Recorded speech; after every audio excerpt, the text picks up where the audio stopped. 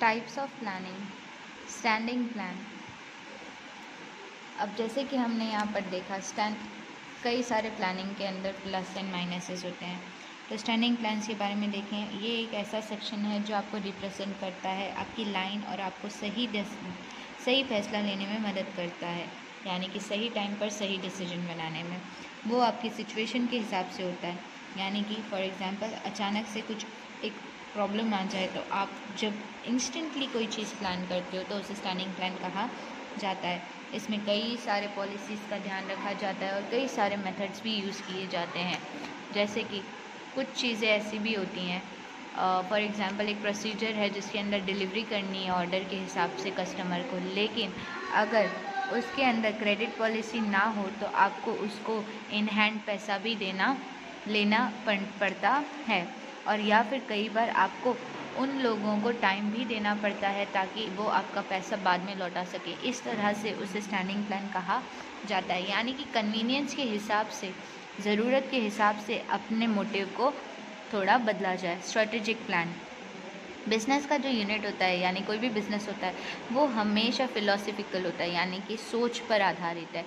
अगर उसके अंदर हम सही तरह से काम को अपने देखें और उनका फ़ंक्शन सही टाइप से यूज़ करें तो ही हम लोग उसमें मतलब अपना बेनिफिट ला सकते हैं।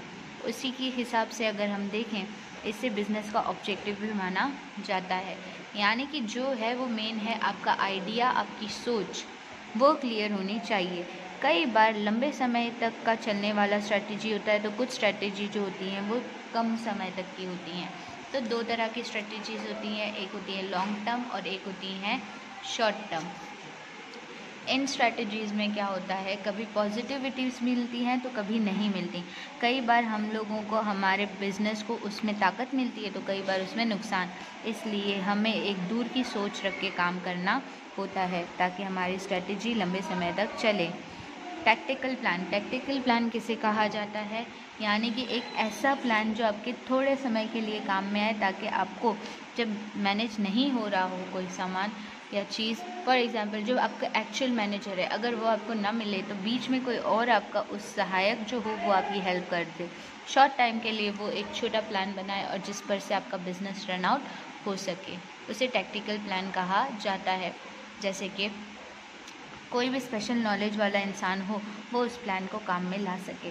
ऑपरेशनल प्लान किसे कहा जाता है? यानी बिज़नेस स्टार्ट करने से पहले जो आपने ग्रुप्स में डिवाइड करके हर किसी को उनका टारगेट दे दिया था उन लोगों को, जैसे वन ईयर टू ईयर्स का, उसे ऑपरेशनल प्लान कहा जाता है। यानी आप वो अपने अभी के सीजनल वैल्यू के लिए इस्तेमाल में ले रहे हो।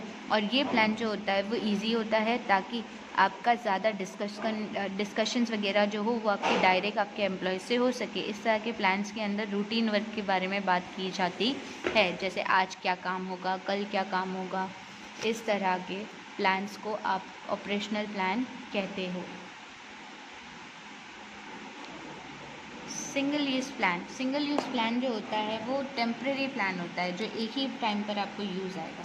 फॉर एग्ज़ाम्पल किसी पैकेजिंग के अंदर या प्रिंटिंग मशीन के अंदर अगर कोई गड़बड़ आ जाए तो उसके अंदर एक टेम्प्रेरी सोल्यूशन जो निकले, वो आपका टेम्प्रेरी सिंगल यूज़ प्लान माना जाएगा।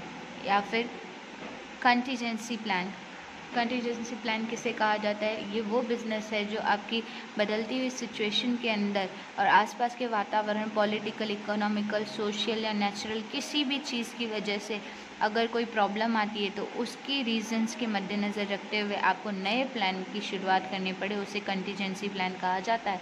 फॉर एग्ज़ाम्पल आजकल कोरोना चल रहा है, जिसकी वजह से सब बिजनेसेस ठप पड़ गए हैं। तो ऐसे टाइम पर हर बिजनेसमैन ने अपने प्लानिंग्स को बदला है, ताकि शॉर्ट पीरियड के लिए वो अपना प्रॉफिट भी कर सके और अपना बिज़नेस भी चला सके।